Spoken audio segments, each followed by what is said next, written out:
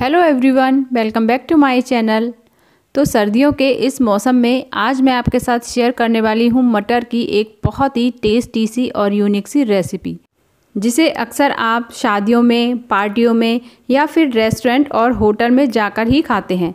पर आज इस रेसिपी को मैं बहुत ही आसान तरह से आपको बनाना बताऊँगी।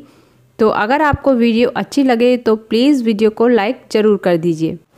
तो चलिए दोस्तों, आज की रेसिपी वीडियो को शुरू करते हैं।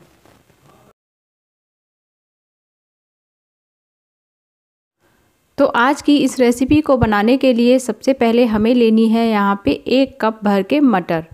तो मैंने यहाँ पे फ्रोज़न मटर का यूज़ किया है। आप यहाँ पे ताज़ी मटर भी ले सकते हैं क्योंकि अब मार्केट में बहुत अच्छी मटर आ रही है। साथ में ही लेंगे यहाँ पे दो कटोरी भर के मखाने और उसके बाद हम चलते हैं पैन की तरफ़। तो यहाँ पे हम गैस पे रखेंगे एक सॉस पैन और उसमें हम डालेंगे दो से तीन कप भर के पानी और साथ में ही अब डाल देंगे यहाँ पे मटर। तो मटर वैसे तो ये फ्रोज़न है, अगर आपके पास हरी मटर है तो भी आप इसी प्रोसीजर को फॉलो करें। अब साथ में ही डाल देंगे यहाँ पे छः से सात काजू और उसी के साथ यहाँ पे मैंने दो टमाटर भी ले लिए हैं। उन्हें बस इस तरह से पीछे से हम कट लगा देंगे और दोनों टमाटर को भी इसी में हम ऐड कर देंगे। टमाटर के पीछे इस तरह कट लगाने से ये बहुत अच्छे से बॉईल भी हो जाते हैं और इन्हें छीलने में बहुत आसानी हो जाती है। और अब लास्ट में हम डालेंगे यहाँ पे मखाने। तो जितने हमने मखाने लिए थे, उसमें से थोड़े मखाने हम इसमें डाल देंगे और उसके बाद इन्हें अच्छे से एक बार मिक्स कर देंगे और उसके बाद ढक्कन लगा के हम इसे बॉईल कर लेंगे। जब तक कि मटर सॉफ्ट ना हो जाए और इसमें एक दो बॉयल ना आ जाए, तब तक आपको यहाँ पे इसे उबालना है। तो देखिए फ्रेंड्स आप वीडियो में देख सकते हैं कि मटर जो है बहुत अच्छे से बॉईल हो गई है और पहले से सॉफ्ट भी हो गई है और टमाटर भी पूरी तरह से सॉफ्ट हो गए हैं। तो बस इन्हें इतना ही कुक करना है। अब गैस की फ्लेम आप बंद कर दीजिए और ये सारी चीज़ों को हमने एक निकाल लेंगे छल्ली में।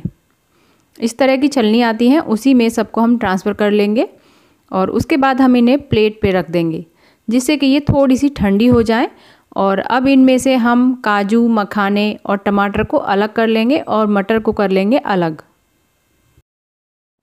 तो दोस्तों, सर्दियों के मौसम में मटर की ये रेसिपी बहुत ही ज़्यादा टेस्टी लगती है। और सभी को ये पसंद भी बहुत आती है। अगर आपके घर पे कोई अचानक से मेहमान आ गया हो और आपके पास सब्ज़ी अवेलेबल ना हो उस टाइम पे तो झटपट से आप मटर की ये रेसिपी बना सकते हैं। ये सभी को बहुत पसंद आएगी। बनाने में एकदम ईजी है और खाने में सुपर टेस्टी होती है। तो देखिए फ्रेंड्स यहाँ पे हमने मटर को अलग कर लिया है और सभी चीज़ों को कर लिया है अलग। तो मटर को तो साइड में रख देंगे, उसके बाद हम टमाटर को छील लेंगे। तो हमने जो स्टार्टिंग में कट लगाया था, उसकी वजह से इसका जो छिलका है, वो बहुत आसानी से निकल जाता है। और उसके बाद हम लेंगे एक ग्राइंडिंग जार और सभी को अब इसमें डाल के बिल्कुल स्मूथ फाइन हम पेस्ट बना के तैयार कर लेंगे।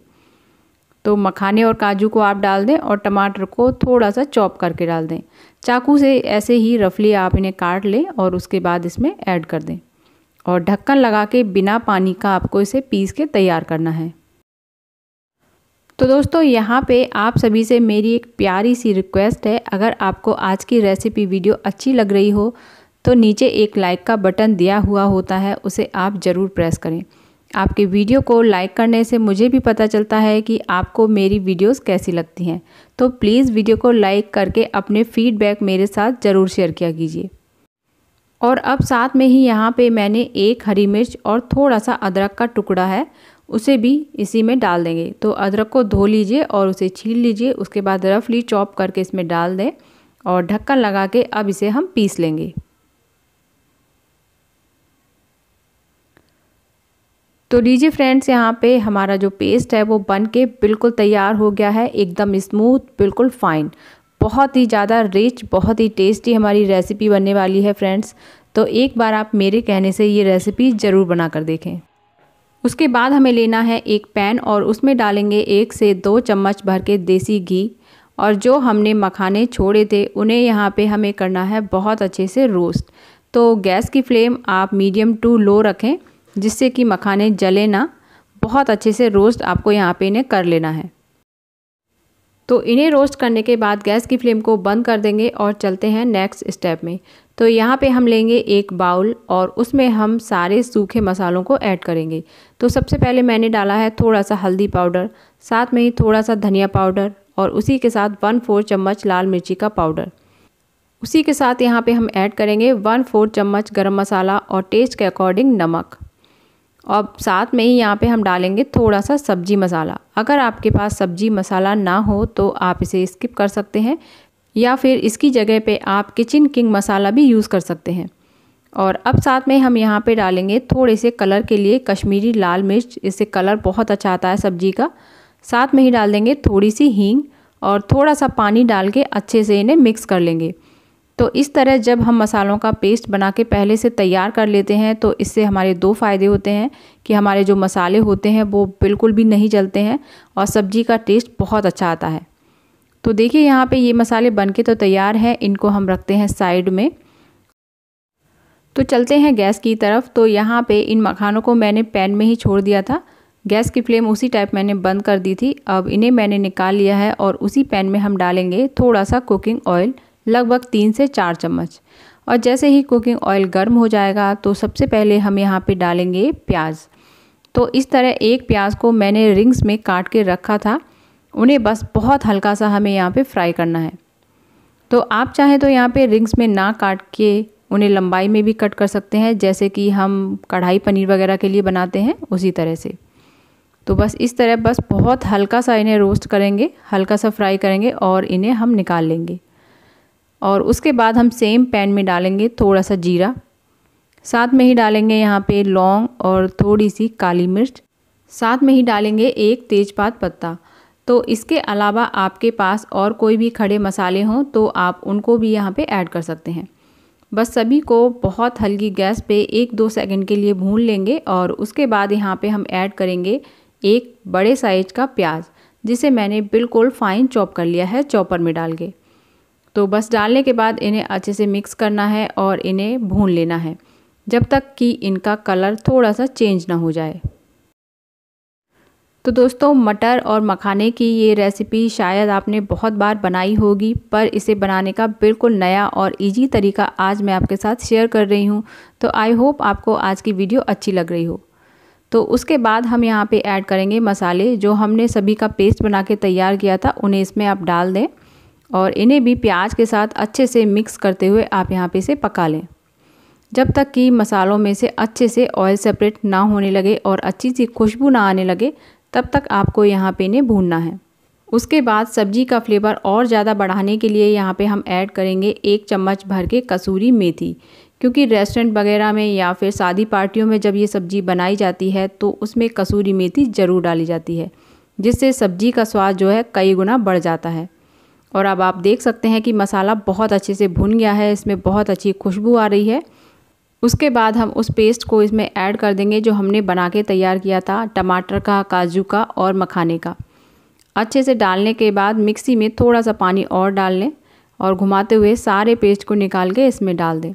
अच्छे से अब ग्रेवी को यहाँ पे आपको मिक्स करना है और इसे पकाना है।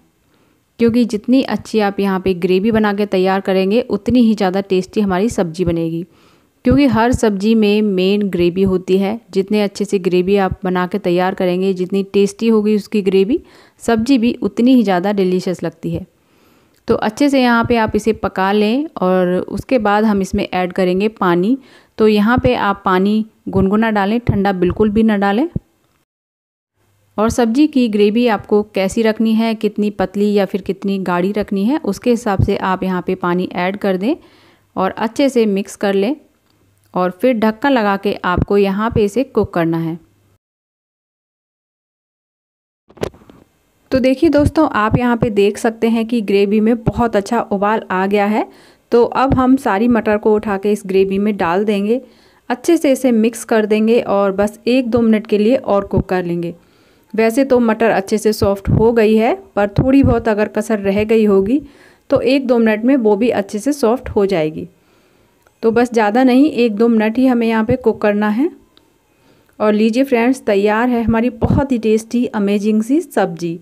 बस अब लास्ट में इसमें हम डाल देंगे प्याज के छल्ले और जो हमने मखानों को रोस्ट करके रखा था, वो सारे मखाने आप इसमें डाल दें। और अब दोनों को डालने के बाद बहुत अच्छे से इसे मिक्स कर दें और मिक्स करने के बाद आप यहाँ पे ढेर सारा हरा धनिया इसके ऊपर डाल सकते हैं। अगर आपकी इच्छा हो तो। वैसे आज मेरे पास हरा धनिया था नहीं तो मैंने स्किप कर दिया है, पर आपके पास हो और आप डालना चाहते हैं तो आप इसमें हरा धनिया ऐड कर सकते हैं। और आप ग्रेवी देख सकते हैं इसकी कितनी ज़्यादा रिच बनी है फ्रेंड्स बहुत ही अमेजिंग टेस्टी सब्ज़ी बनी है, एक बार आप इसे ज़रूर बनाएँ। तो चलिए दोस्तों आप सब्ज़ी को गर्मा गर्म सर्व भी कर लेते हैं। तो इस तरह एक छोटी सी कढ़ाई में मैंने सब्ज़ी को कर लिया है सर्व और गर्मा गर्म आप इसे किसी भी रोटी, पराठे या पूरी के साथ सर्व कर सकते हैं। बहुत ही ज़्यादा टेस्टी बनती है फ्रेंड्स मटर और मखाने की ये सब्ज़ी, जो अक्सर हम रेस्टोरेंट, होटल या फिर शादी पार्टियों में जाकर खाते हैं। तो अगर आपके घर पे कोई मेहमान आने वाला हो, तब आप झटपट से इसे बना के तैयार कर सकते हैं, या फिर लंच और डिनर में कभी भी एंजॉय कर सकते हैं। बनाने में एकदम आसान और खाने में सुपर डिलीशियस। तो दोस्तों, अगर आपको आज की रेसिपी वीडियो अच्छी लगी हो तो प्लीज़ वीडियो को लाइक करें शेयर करें। साथ ही इसी तरह की और वीडियोस देखने के लिए चैनल को सब्सक्राइब करना बिल्कुल ना भूलें, क्योंकि चैनल को सब्सक्राइब करना फ्री होता है। तो मैं मिलती हूँ आपसे एक नई वीडियो में, एक नई रेसिपी के साथ। तब तक के लिए bye bye and take care